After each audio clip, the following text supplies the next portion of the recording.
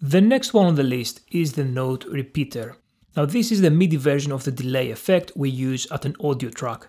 A delay takes the incoming signal, delays it, hence the name, and then plays it back. The way the note repeater does it is to simply repeat the MIDI notes we feed it. But it goes a step beyond that.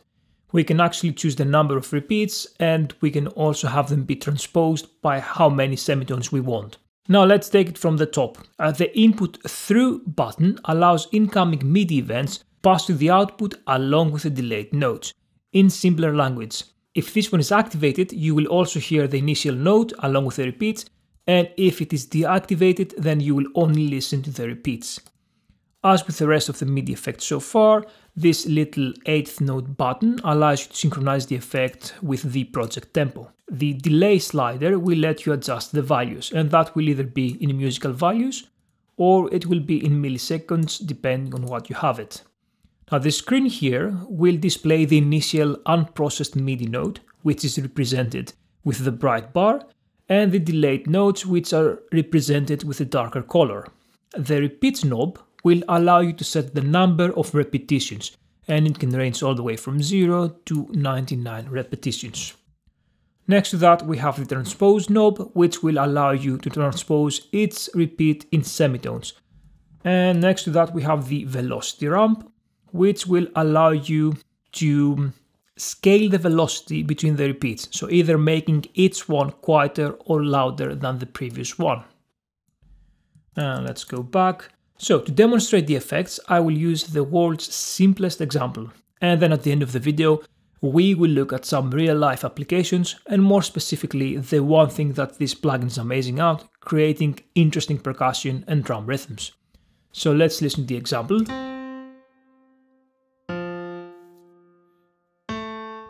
You get the idea, it's just a quarter note every first bit of the bar. Now let's say, let's actually turn it on, and let's say that I want to repeat that and have a quarter note on every beat. So I will have to set my repeats at 3, which is fine, not 4 because we are actually counting the original note as well, and then simply select the quarter note. So 1, there you go. And let's have a listen.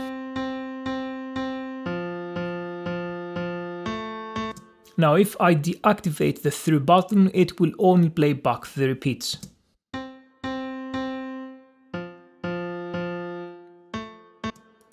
If I have more than 3 repeats, in this example, some of the repeats will actually overlap with the new incoming notes. So let's take this one up, I don't know, let's do 6.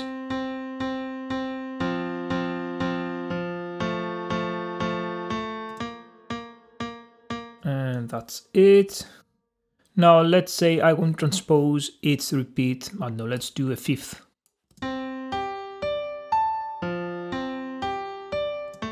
And you can either drag here or you can actually type it in. So let's do octaves. Octaves work well as well.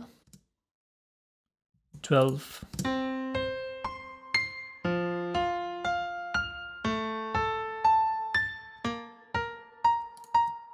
And the velocity ramp. That can actually change the velocity of the repeats. Now to the left, each repeat will become softer than the previous one. So, and you can actually see it in the display as I take it up and down. So let's actually have a listen.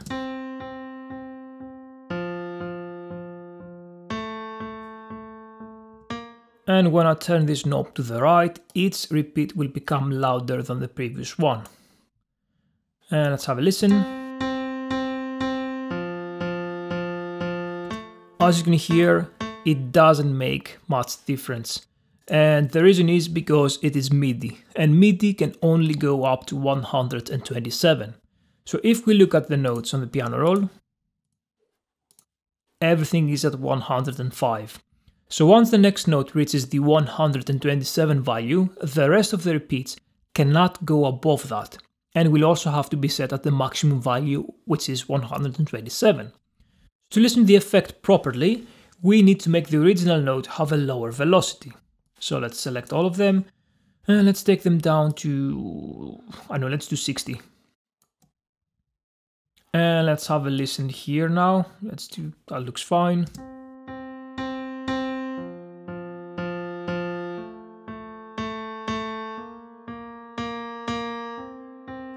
And now you can actually hear the difference. Let's put them back higher. Also, if you click this little arrow here, a hidden menu appears. Now that will allow you to set the range of the notes that will be affected. And you can either have notes outside that range be affected or only have notes be affected within the selected range. For example, middle C, also known as also known as C4, is number 60 in MIDI. So what I have here as C3 is actually C4. Uh, in case you're wondering, that is a setting you can actually change. You can either have the Yamaha tuning, or Yamaha if you are in the US, or the Roland. So you can go to settings, and then, yeah, display, display middle C as either C3 or for Yamaha or C4 for Roland. It's the same note. Now, with the values from 0 to 127, all notes will be included. So if I take the minimum down to 60, you can also either drag it or actually type it in. That will mean that my notes above that, above 60, will actually be processed by the plugin. And if I play it back, only the first note, middle C, which is note 60, will actually be repeated. The rest are below 60, so they won't be included.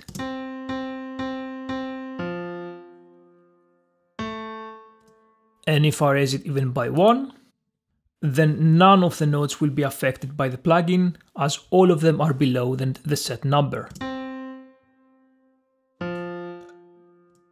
Also, if you have the minimum range higher than the max range, that will change the behavior of the range. So let's say I'm going to do this one, let's do this 170, and let's do this 160, so lower. So nodes that are within that range won't be processed and everything else outside that range will actually be processed. So actually it looks like all of our nodes here will be processed. In any case, let's actually have a look at some examples you can actually use in your music. And I personally think that this plugin works great with percussion and drums. So let's actually go to this example here. Let's turn that off. I have this very simple drum beat. Let's have a listen.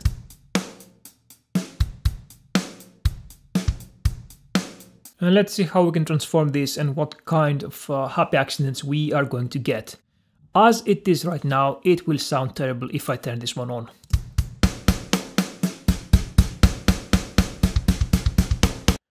So let's make the beat uh, less static. So let's do let's do eighth notes, but let's do them dotted.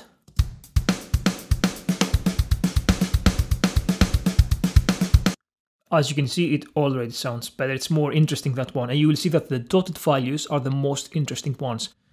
Right now, just have a listen. It's very mechanic.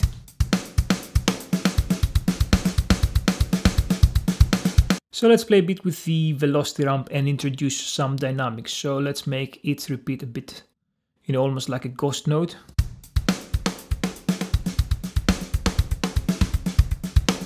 Much, much better. Uh, let's play with the repeats and let's play with the transpose. Let's do the repeats first.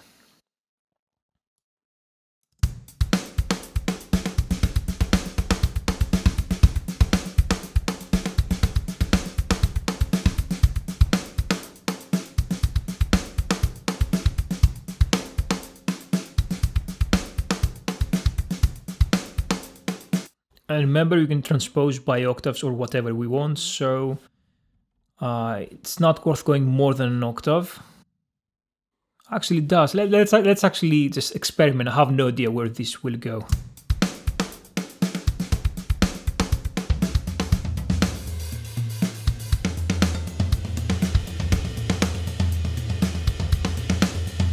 Okay, that that sounds interesting. Let's keep going.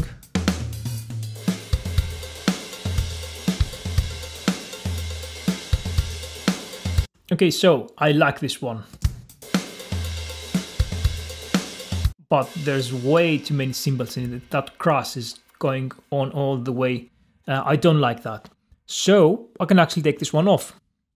I What I need to do is just set my range, as we have already seen. And let's see, since I don't know what number the cymbals are, I will start taking down. So I know that middle C is 60. So middle C is here, and the cross is this one. Yeah. So I will need to, I don't know, let's start from 45. Let's go 45, type it in, start taking down.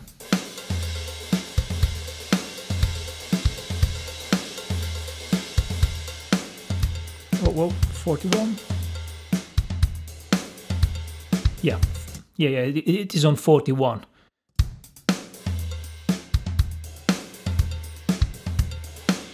Good, so now I have the beat that I want with much less cross cymbals. So we went from this thing to this.